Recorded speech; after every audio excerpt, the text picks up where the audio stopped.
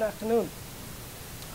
Uh, we heard a lot about the magical plant world above ground. So let's travel from this magical world above ground to the unseen life below ground. Productive and sustainable agriculture requires healthy soils. Soil health depends upon the unseen, vast and unseen life below ground. And it is this unseen life that has given us the life-saving antibiotics. Biota in soil is diverse. It's diverse both in terms of its size and in, some, in terms of its abundance. There are those that you can see with the naked eye, cute and curly, and there are those that actually you probably need a, a schoolroom microscope, nematodes and worms.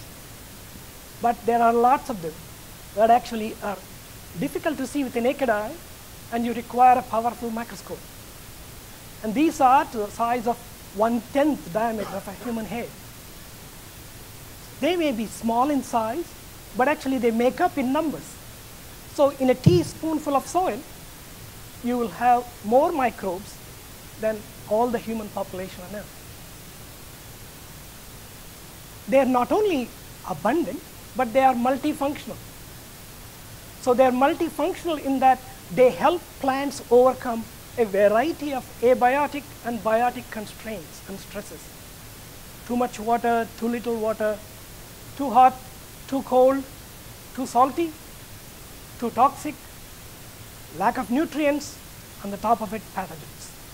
Microbes help plants overcome and thrive in variety of these diverse environments. And this diverse, this multifunctionality comes from their diversity. So you all have family trees. But the family tree of microbes is quite complex. It is this complexity and diversity that gives power of microbes to be resilient and help plants under a variety of conditions. This is known as omics era. And this gives us, gives us power to unravel the biota black box and to see the genetic diversity in detail on who is there and what they do, how you can manage them. And it is this power that makes us to go forward. So if we know all of these things, so what is the problem? So the problem is the growing human population. And this is the world population today at lunchtime. To meet the food demands of the population in 2050, you need to double the food production that was there in 2000. We all know about green revolutions, 60s, 70s, and 80s. Green revolution has given us a boost in production. But the benefits in production from green revolution have plateaued now. There is actually a great uh, gap between what is attainable in today's, with today's technology to what is actually achieved in the field. So there's a 10 to 15% of yield gap. And the evidence is growing daily that this gap can be bridged by harnessing the diversity and functional capacity of microorganisms. So a term microbiome is used. Microbiome refers to a collection of microorganisms. It's actually a microbial community. So microbial community in an ecosystem. So these are looked as a community in an ecosystem.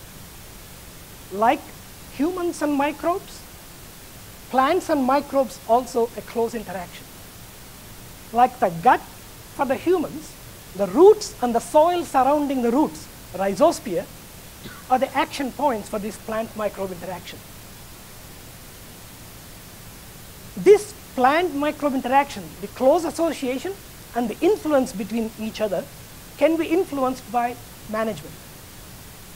Management can modify the community, the microbiome community in a soil, and plants can choose members of the community that are beneficial to them. By stimulating selective members of the community and by harboring selective members of the community. So through management, we can also make a better home for microbes, thus giving plants a desirable microbiome. So there are three examples where this modification of plant microbe interactions can help plant grow. So one of the example is nutrition. Nitrogen is a key element for all the plants. The global fertilizer industry is $100 billion annually. But availability of nitrogen, economic use of nitrogen fertilizer is a bottleneck for production, especially in developing countries. So can we reduce the amount of fertilizer used without reducing the yields? So this is where a plant microbe combination can come to the rescue. So there is a group of microbial community, as a known of diazotrophs, that can perform this like nitrogen factories within the plant. And research the Waite campus has shown that there is a diverse diazotroph community even in Australian agricultural soils that we consider are poor in fertility. And there are perennial grasses which are, don't receive fertilizer all the time. They host microorganisms, these nitrogen fixing microorganisms, in all parts of the plant.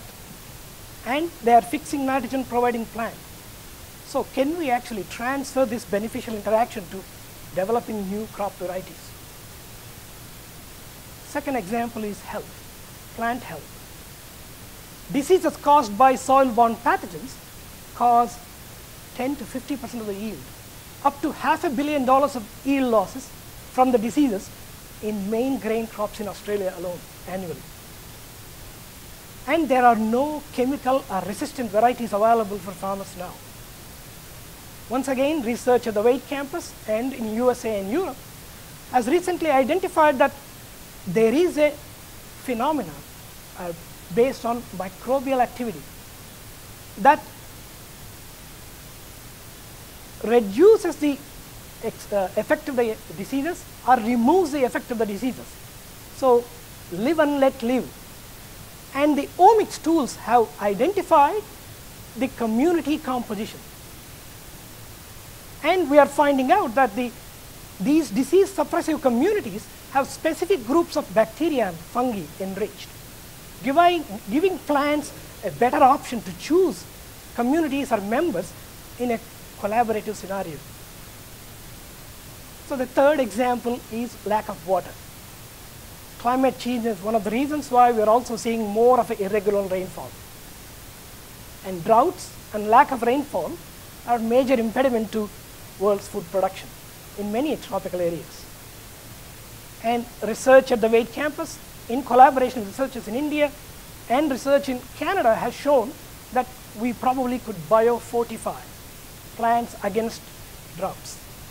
So there are specific group of microbes that live within the plants, usually known as endophytes, that change the physiological and biochemical properties in the plant and help plants resist against the stress during the stress periods and revive once the optimal conditions arrive. So it is this omics era and the new knowledge has given us multiple ways that we can harness microbiome. Soon farmers will be able to get a microbiome report like the health report for us, which gives them probably options to choose for the upcoming season. Researchers could develop new crops and varieties with a specific plant microbe combinations for farmers to choose. Within a decade or two, I'm sure we will be able to immunize plants by having uh, innocuous compounds, non-toxic chemicals. So there are multiple ways that this new understanding of biology, microbiology, unseen world in the soil can help improve productivity and reach the gap. So to me, in the later stage of my career, I say it's an exciting time for microbiologists. It's exciting times for biologists, students to come into this field. This level of activity has only happened in 1860s. So let all of you explore these new options and help humankind. Thank you.